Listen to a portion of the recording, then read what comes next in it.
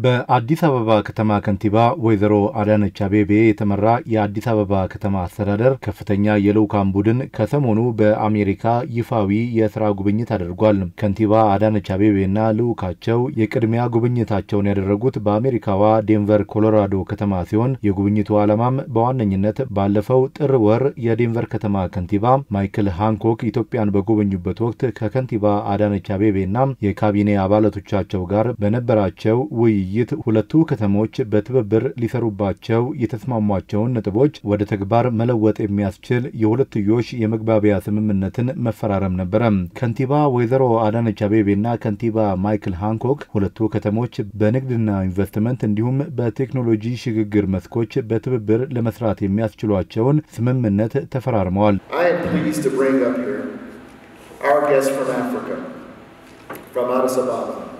Again, she fast became a friend. She is the great mayor, Adanech Abebe, the honorable mayor of Addis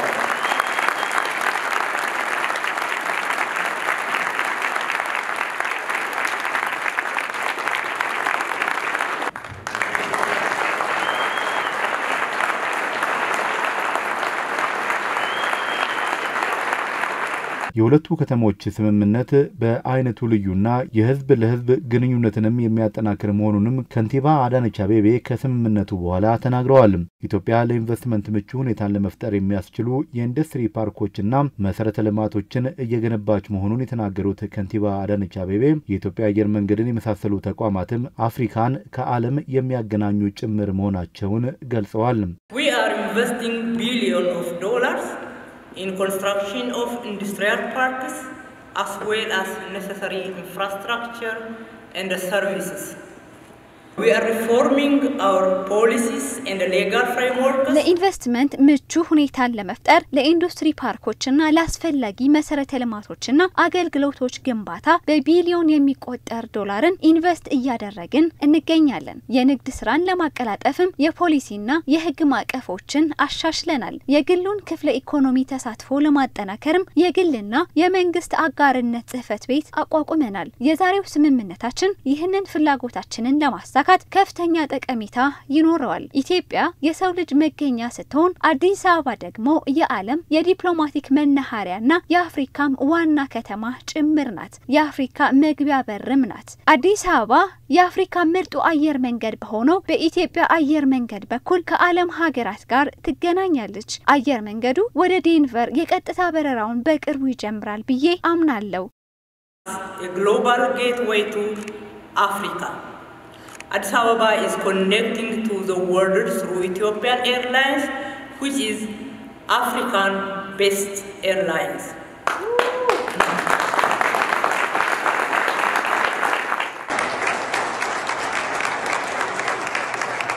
ከንቲባ አዳነች አቤቤና ከንቲባ ማይክል ሃንኮክ በነበራቸው የሁለትዮሽ ውይይት ሁለቱ ከተሞች በጋራ ለመስራት የሁለትዮሽ ስምምነት የደረሱባቸው የንግድና ኢንቨስትመንት እንዲሁም የቴክኖሎጂ ሽግግር መስኮች በተጨባጭ ወደ መሬት እንዲወርዱና እንዲተገበሩ ለማስቻል መወሰድ ስለሚገባቸው እርምጃዎች በስፋት የመከሩበት መሆኑም ተገልጿል።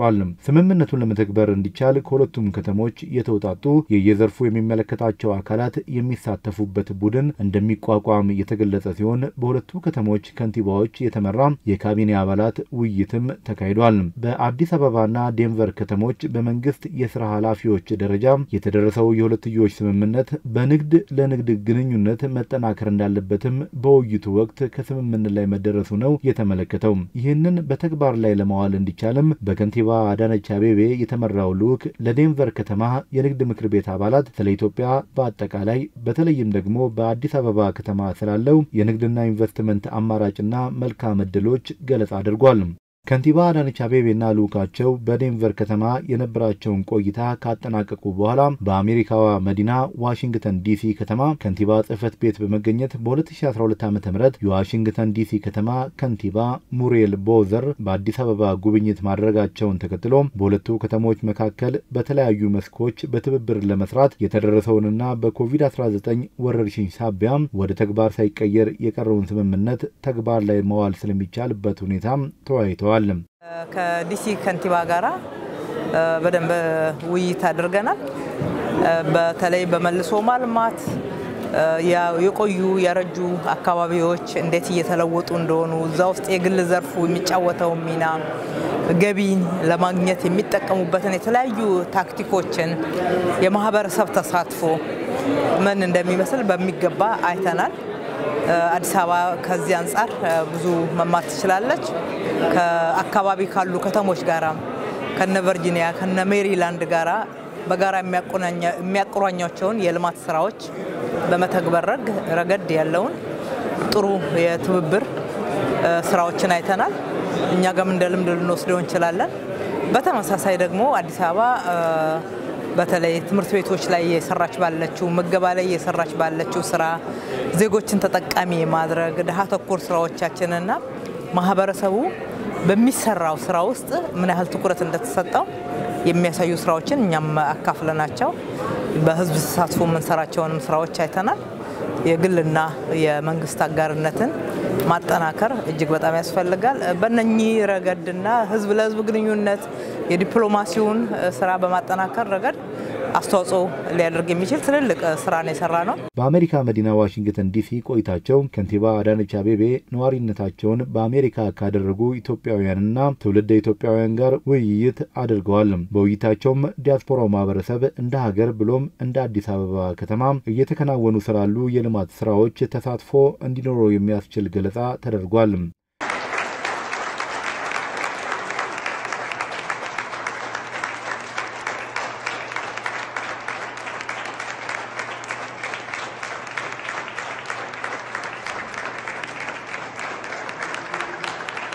ሀገራችን ለዲያስፖራው አካላት ሰፊ ኢንቨስትመንት አማራጮች መካከል በአሁኑ ወቅት በመንግስት በኩል ለኢንቨስትመንት ቅድሚያ ከሚሰጥባቸው ዘርፎች መካከል ግብርና እና agro processing፣ manufacturing፣ የማዕድን ኢነርጂ ዘርፎች፣ የመረጃና የኮሚኒኬሽን ቴክኖሎጂ ወይም ICT እና የቱሪዝም ልማትን በዋነኛነት መጥቀስ ይቻላል። እነዚህን ጠቃቀስኳቸው እንጂ ሌሎች ሴክተሮች ትኩረት አይሰጣቸውም ማለት አይደለም። ሁሉም ሴክተሮች ሰፊ ትኩረት ይሰጣቸዋል በየሚኒስትሪዎቹ፣ በየኮሚሽነሮቹ። ነገር ግን እነኚህ በአብዛኛው ተዘንግተው የቆዩ ትኩረት የሚሹና አገራችን ትልቅ opportunity እና potential ያላትን የሚያሳዩ ስለሆኑ ጠቀስኳቸው።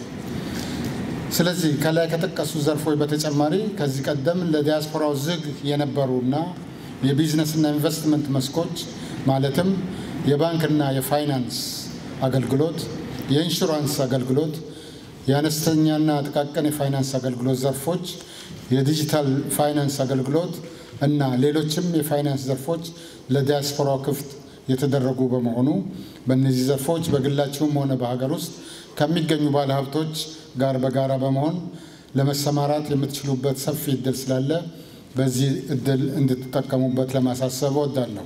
አዲስ አበባ በዚህ በለውጥ ዘመን የመጀመሪያ ተነግሮ የማይታወቅ ገመናዋ በደንብ እንዲታይና ለውጥ እንዲመጣበት ነው የተደረገው። አንዱና የመጀመሪያው ህጻናት እርቧቸው በትምህርት ቤት ውስጥ ባዶ ሳህን ይዘው ይወድቁ ነበር። ያልተነገረ ከላይ በተወሰነ የለውጥና እድገት የ infrastructure ስራዎች ይሸፈን የነበረ ህዝብ ጋር ያለ ህመም ያልተነገረ ያልታየ ነበረ። የምንሰራው ለሰው ነው። የምናመጣው እድገት የሰውን ህይወት ካልቀየረ፣ ለሰው ብርሃን ካልሆነ፣ ተስፋ ካልሆነ ትርጉም ያጣል። ህንፃም መንገድም ያው ማርጀቱ አይቀርምና በዛ ውስጥ cover ማድረግ አንችልም። ስለዚህ ዛሬ የአዲስ አበባ ተማሪዎች ህፃናት አይራቡም ብቻ ሳይሆን በቀን ሁለት ጊዜ ለሰባት መቶ ሺህ ያክል ተማሪዎች ምግብ እናቀርባለን። የትምህርት ቁሳቁስ ይቀርብላቸዋል። እኩል ሆነው ይማራሉ። ይሄ ትልቅ ለውጥ ነው። ኢንቨስትመንታችን ሰው ላይ መሆን አለበት። በተለይ ትውልድ ላይ ሲሆን ደግሞ የሚከፍለን በብዙ እጥፍ ነው። ፈረንጆቹ አንድ ዶላር ኢንቨስትመንት ለምገባ ዘጠኝ ዶላር ይከፍለናል ይላሉ። ገብቶንም ይሁን በሚገባ ግን ልጆች ላይ ኢንቨስት ማድረግ ትልቅ ኢንቨስትመንት እንደሆነ አይተን እየሰራን ያለ ነው። በሌላ በኩል የአዲስ አበባ አዲስ አበባ ውስጥ የሚኖሩ ሀገር ያገለገሉ አረጋውያን ለተለያየ ማህበራዊ ችግር የተጋለጡ ወገኖቻችን በቀን አንድ ጊዜ ምግብ ማግኘት አቅቷቸው ይራቡ ነበር። ይሄ እውነት ነው፣ የኛ ገመና ነው፣ ልንደብቀውም አንችል። አዲስ አበባን አሁን ሰው ካልፈለገ በስተቀር በራሱ ችግር ምክንያት ካልሆነ በስተቀር የማይራብበት ሰው የማይራብበት ከተማ ማድረግ ችለናል። 17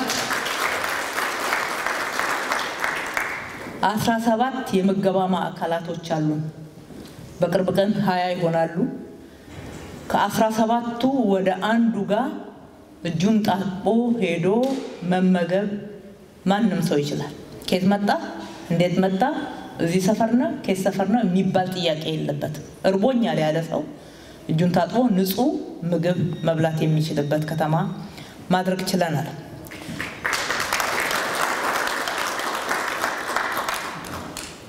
አረጋውያን እንግዲህ በርካታ ሀገር አገልግሎ አገልግለው የሚኖሩባት ከተማ አዲስ አበባ ናት። በብዛት የድሮ ቤቶች የፈራረሱ በጋና ክረምት ፀሐይና ዝናብ አከታትለው ሲመጡ ይሄ ሁሉ የሚወርድባቸው በርካታ ቤቶች ነበሩ። እነኝንም በመተው ሳይሆን መልሰን በማደስ መልሰን በመስራት ከ20 ሺህ በላይ ቤቶችን ለአቅመ ደካሞች ማቅረብ ችለናል። ሰው ተኮር ነን ስንል ሰው ተኮር ነን ስንል ምንም የሚሸፈን የሚጋነን ነገር የሌለው በሚቆጠር በሚታይ በሚዳሰስ የሰው ሕይወት ላይ ለውጥ በሚያመጣ ስራ ነው የምንናገረው እና በእነኚህ ጊዜያቶች እነኚህን ስንሰራ እነኚህ ስራዎች ስንሰራ አንደኛ የፖሊሲ መሰረት መነሻ አለን። ሁለተኛ እነኚህን ስራዎች ለዜጎቻችን ክብር መስጫ ማህበራዊ ፍትህ ማረጋገጫ አድርገን ነው የምንመለከታቸው። ከንቲባ አዳነች አቤቤ ከኢትዮጵያውያኑና ትውልድ ኢትዮጵያውያኑ ጋር በነበራቸው ቆይታ በተለያዩ ጉዳዮች ላይ ለተነሱ ጥያቄዎች ከንቲባ አዳነችና የልዑካን ቡድኑ አባላት ምላሽ ሰጥተዋል። የኢትዮጵያ ሕዝብ በምግብ በሌላም ብቻ ሳይሆን medical የለም። የ medical problem አለ። ህዝቡ የሚያልቀው ዶክተሮቻችን ከማንም የበለጡ ናቸው፣ ግን መሳሪያ የለም። ሳንቲም ኖሮ ሳይኖራቸው በጣም ድሃ የሆኑ መታከም ለማይችሉ የማህበረሰብ ክፍል ማህበረሰብ አቀፍ የጤና መድን ኢንሹራንስ ከተማ አስተዳደሩ ከፍሎላቸው የሚታከሙ ሁለት ነጥብ አንድ ሚሊዮን የከተማችን ነዋሪዎች አሉ። ምክንያቱም ሳንቲም ሳይኖራቸው የመንግስት ጤና ተቋማት ላይ ሄደው አገልግሎት እንዲያገኙ የሚያስችል ምናልባትም እናንተ ጋር ሁሉም ሰው ስለሚገባ social health insurance በእኛ context ግን በጣም ድሃ ለሆኑት የማህበረሰብ ክፍል ትልቅ እገዛ እያደረገ ይገኛል። እንዲሁም እናቶችና ህጻናት በጣም የሚወልዱበት ቦታ አጥተው የሚቸገሩባት ከተማ ነበረች። አሁን ግን ትልቅ ሆስፒታል ደረጃውን የጠበቀ ዕድሉን አግኝታችሁ ያያችሁት ካላችሁ አበበች ጎበና የእናቶችና የህፃናት ሆስፒታል በነፃ ነው አገልግሎቱን የሚሰጠውና ለእናቶችም ትልቅ እፎይታ የሰጠ ትልቅ ስራ ነው የተሰራው። በሌሎችም በሌሎቹም ክፍለ ከተሞች ምናልባት ሆስፒታሎቻችን ነባር city inner city ላይ ብቻ ነው ያሉት።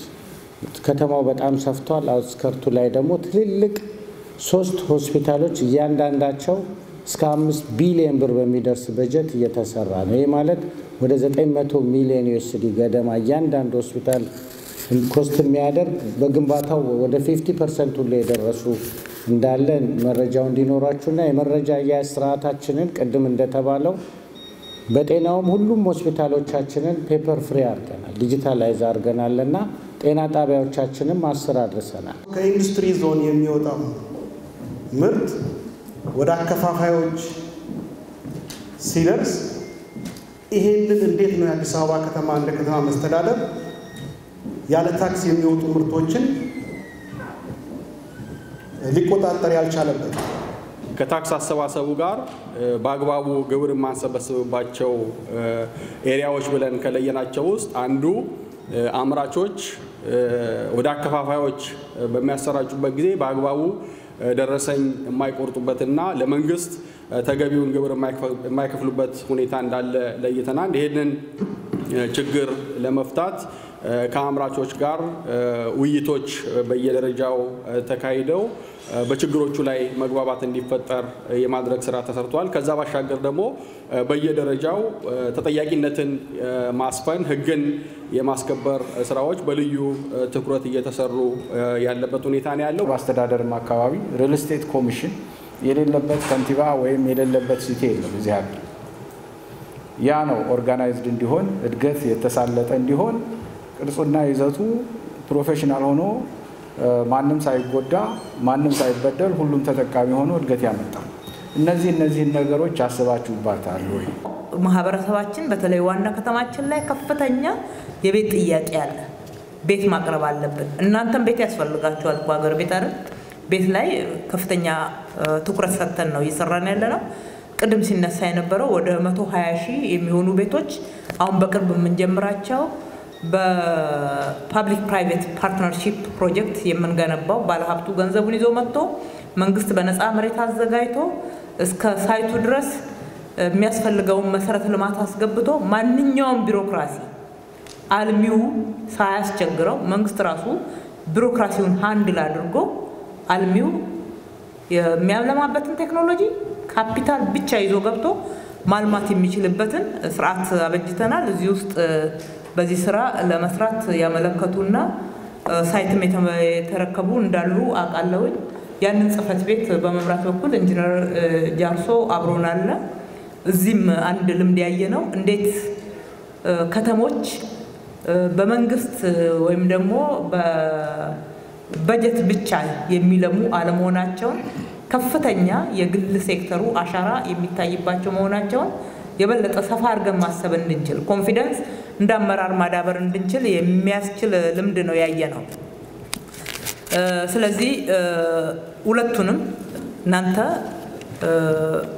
ዝግጁ የሆናችሁበትንና ልምድ ያላችሁ የትኛው ፕሮጀክት ላይ ነው መምጣት ትራንስፖርት ላይም መምጣት ይቻላል።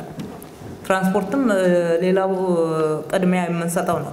infrastructure ኡን ይሁን service ኡም ላይ ጭምር outsource አድርገን ማሰራትም በጋራ በ joint venture ም በ foreign direct investment ም በ public private partnership ም የምናስተናግደው ነው ማለት ነው። ከንቲባ አዳነች አቤቤና የልዑካን ቡድናቸው በአሜሪካ ያደረጉትን ጉብኝት ሲያጠናቅቁ ጉብኝቱ ከተማዋ ከተለያዩ የዓለም ሀገራት ከተሞች ጋር ያላትን ሁለንተናዊ ግንኙነት ለማጠናከር የሚያስችል የልምድ ልውውጥ የተገኘበት ስኬታማ ጉብኝት እንደነበረ ነው ከንቲባ አዳነች አቤቤ የተናገሩት። አጠቃላይ አዲስ አበባ ከ22 ከተሞች በላይ የእህት ከተሞችና አንድ የከተማ ለከተማ ግንኙነት እና አቻነት እና የትብብር ስምምነት የፈረመች ከተማ ናት። እነኚህን የፈረምናቸውን ስምምነቶች የሁለትዮሽ ግንኙነታችንን ለማጠናከር በጣም ወሳኝ ነው። እነሱን በተግባር መተግበር ስላለብን እንቅስቃሴዎች እያደረግን ነው። ከአሜሪካ ከተሞች ጋር ግን በቅርብ ጊዜ ባደረግነው ግንኙነት ሰፋ ያሉ የጉድኝትና የትብብር ስራዎችን እየሰራን ያለ ነው። ባለፈው አትላንታና ዴንቨር ከንቲባዎችን አዲስ አበባ ላይ ተቀብለን ከነ ልዑካን ቡድናቸው ጥሩ ውይይት አድርገን አብረን የምንሰራባቸውን ዘርፎች ለይተናል። ዴንቨር ላይ በነበረን የጉብኝት ወቅትም የአቻነት የከተማ ለከተማ ግንኙነትን ማጠናከሪያ ስምምነት ፈርመናል። በኢንቨስትመንት፣ በቴክኖሎጂ አብሮ በመልማት በመተባበር በመሳሰሉት የተለያዩ ትብብሮችን ማሳደግ እንደሚገባ አይተን ጥሩ ጊዜ ነበረ። በተመሳሳይ ሁኔታ ከተሞች እንዴት በፍጥነት መልማት እንደሚችሉ የግሉ ሴክተር ሚና ምን ያህል ትልቅ እንደሆነ የግልና የመንግስት ትብብር እጅግ በጣም አስፈላጊ መሆኑን የሰሩት የልማት ስራዎች ስለሚያሳዩ ጥሩ ልምድም አግኝተንበታል። የእኛንም አካፍለናል። ህዝብ ለህዝብ ግንኙነት የዲፕሎማሲውን ስራ በማጠናከር ረገድ አስተዋጽኦ ሊያደርግ የሚችል ትልልቅ ስራ ነው የሰራ ነው። እዚህም እንግዲህ በኤምባሲያችን የትውልደ ኢትዮጵያውያንና ኢትዮጵያውያን ዲያስፖራን አግኝተናል። በተለይ ባለሀብቶችን ሀገራቸው ላይ መጥተው ኢንቨስት እንዲያደርጉ አበረታተናቸዋል። ጥሩ ውይይት ነው ያደረግነው። እነሱም የሚያውቋቸውን ብዙ አስተያየቶች ሰጥተውናል እንደ ግብአት። በተመሳሳይ ደግሞ ይሄው ለገበታ ለትውልድም አሁን እዚህ ጋር ሲሰበሰብ እንዳየነው ከ200 ሺህ ዶላር ያላነሰ አስተዋጽኦ ሲያደርጉ ያየንበት ነው። ይህ ሁሉ ከሀገር ጋር ያለውን ቁርኝት ከአገር ላይ የሚሰራውን ልማት ምን ያክል በጉጉት እንደሚመለከቱትና ተሳትፏቸውን ለማረጋገጥ ባገኙት አጋጣሚ ሁሉ እየተንቀሳቀሱ እንደሆነ ያየንበት ነው። እንግዲህ ብዙ ልማት ስራዎች በውጣ ውረዶች ውስጥ ውጤታማ ሆነው ተሰርተዋል። የበለጠ ውጣ ውረዶችን እየቀነስን ውጤታማነትን እያጎላን አብረን መስራት አስፈላጊ እንደሆነ ያየንበትና የተስማማንበት የተነጋገርንበት ለመተግበርም ደግሞ አስተዋጽኦ ለማድረግ ብዙዎች ቃል የገቡበት ስለሆነ ውጤታማ ጉብኝት ነበረ ማለት ይቻላል።